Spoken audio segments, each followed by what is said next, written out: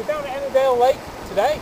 Uh, it's the 26th of May 2011, Thursday, and it's about 20 past 2 in the afternoon. And it's been raining all morning, but there's a bit of sun coming, at least a bit of clear sky looks like it's being blown our way. So we might have a bit of a nice afternoon. Dawson here has been uh, very good. He's had a ride up in the cart, and he's having a run around now. So uh, we'll uh, we're going to have a look around the lake. It's only about 45 minutes cycle, isn't it, from Frizington? So it's quite a nice place to come. It's a nice river. We're having quite a nice time.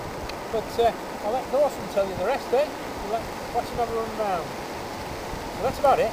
Anyway, we'll let Dawson have a go now. Come on.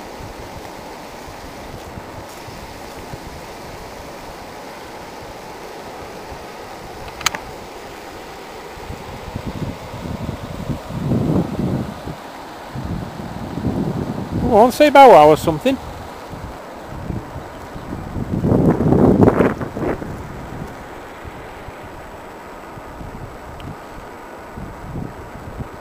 He's having a sniff. Don't know what he's sniffing.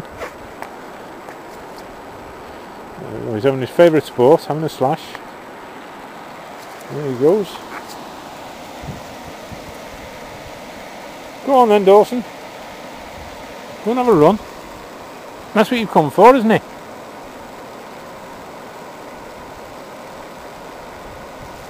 Nope. He's not having it. He's coming back to me.